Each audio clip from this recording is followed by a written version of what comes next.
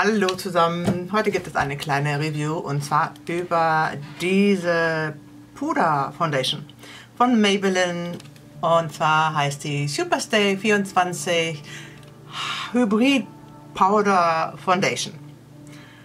Wenn euch also interessiert, was das Ergebnis ist, dann bleibt doch einfach dran. Diese Puder Foundation habe ich mir bei Rossmann äh, gekauft und im Aussteller stand neu. Und da habe ich mir gedacht, musst du einfach mal ausprobieren, mitnehmen. Und das Versprechen ist, es ist wasserfest, es ist wischfest, schweißresistent und bis zu 24 Stunden halt. Es ist auf jeden Fall dermatologisch getestet, nicht komedogen, für alle Hauttypen geeignet und für sensible Haut geeignet. Für alle Hauttypen geeignet, das hat mich so ein bisschen stutzig gemacht, weil ich finde das nicht, dass es keine Foundation gibt, die für alle Hauttypen geeignet ist. Ich habe eher vermehrt trockene Haut, an manchen Stellen halt eben gemischt, an manchen Stellen trocken.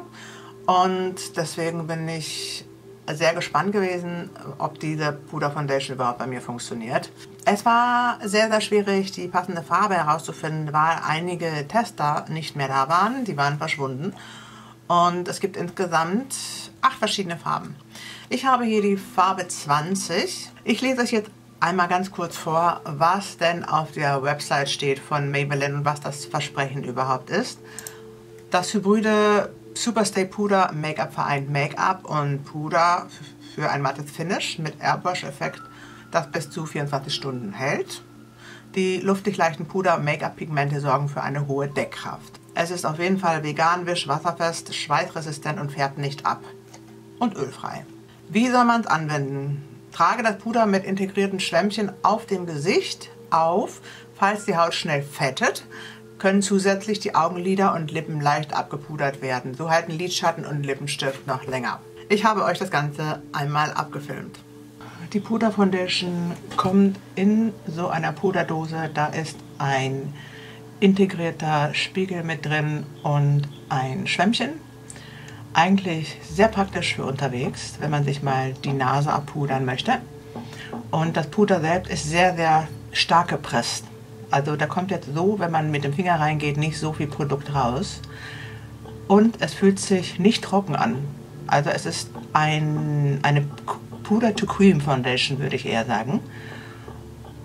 Und jetzt trage ich das Puder mit dem Schwämmchen auf und man kann sofort erkennen, dass die Deckkraft wirklich sehr, sehr gut ist. Das Puder lässt sich mit dem Schwämmchen super einfach verteilen man sollte allerdings dann auch mit pressenden Bewegungen und leicht wischenden Bewegungen drüber gehen. Und ich finde, man sieht auf jeden Fall schon mal den Unterschied. Ich habe erstmal die eine Hälfte abgepudert.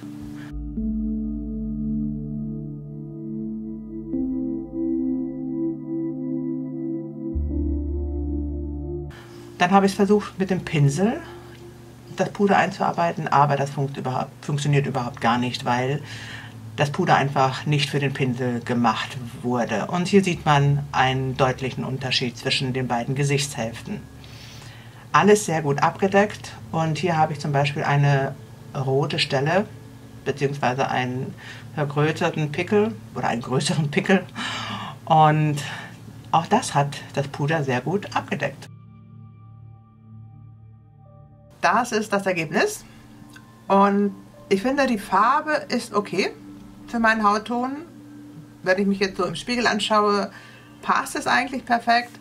Ähm, man muss dazu sagen, die Kamera gibt nicht immer exakt eins zu eins die Realität wieder. Die Kamera schluckt sehr, sehr viele Farbpigmente und von daher verlasse ich mich auf den Spiegel und nicht das, was in der Kamera oder im Bildschirm gezeigt wird. Glaubt mir, die Farbe passt. es ähm, hat ganz gut abgedeckt, finde ich. Und ansonsten ist es ziemlich gleichmäßig. Ich werde mich jetzt mal zu Ende schminken und dann gibt es ein Fazit. Kommen wir zu meinem Fazit. Das ist das Ergebnis. Und ich muss sagen, ich bin doch tatsächlich positiv überrascht. Wenn ich mich jetzt so in den Spiegel anschaue, ja, es hat ganz gut funktioniert. Ich war, während ich dieses Puder aufgetragen habe, doch immer noch sehr, sehr skeptisch, denn ich habe das Gefühl gehabt, es ist viel zu trocken. Doch jetzt, mit der Zeit, verschmilzt das Puder tatsächlich mit der Haut und es sieht nicht mehr so trocken aus, so cakey. Ich habe das Gefühl, dass sich an den Stellen das Puder angepasst hat. Je nachdem, wie die Haut beschaffen ist, hat sich das Puder dieser Beschaffenheit angepasst. Der Auftrag war sehr schnell. Man musste einfach nur mit diesem Schwämmchen hingehen und das Ganze auftupfen und ein bisschen verwischen. Ein bisschen verwischen. Ähm, mit dem Pinsel funktioniert es nicht. Es wäre nicht schlecht, wenn man von diesem Make-up-Schwämmchen äh, Ersatz hätte. Weil ich finde, man kann nur damit arbeiten. Wie gesagt, mit Pinsel funktioniert das nicht. Oder es ist die gleiche Beschaffenheit vom Gefühl her wie ein Make-up-Ei. So, ich nehme jetzt irgendein Make-up-Ei und wenn ich das so nebeneinander erfühle, ist die Beschaffenheit gleich. Und ich kann da ja nochmal hingehen, weil ich habe ja nichts drauf. Ich habe jetzt kein Blush drauf, kein Kontur, gar nichts, sondern nur das Puder. Und dann probieren wir das jetzt einfach mal aus. Ja, ich glaube, es kommt, es hängt davon ab, was, äh, wie gut dieses Make-up-Ei ist. Das ist jetzt von Action, also es ist kein äh, qualitativ hochwertiges Make-up-Ei. Das von Techniques, Screen Techniques würde ich auf jeden Fall empfehlen, ähm, das damit zu versuchen. Habe ich auch hier, aber ist gerade zu nass. Also sollte man schon äh, im trockenen Zustand anwenden. Oder es gibt auch Make-up-Schwämme, Ersatz-Make-up-Schwämme äh, in den Drogerien zu kaufen. Ich werde jetzt einfach mal ein paar Stündchen warten und dann melde ich mich zurück, einfach um die Haltbarkeit ein bisschen zu testen. So, ich habe das Ganze jetzt mal ein paar Stündchen drauf gelassen, um zu gucken, wie diese Puder Foundation sich auch weiterentwickelt.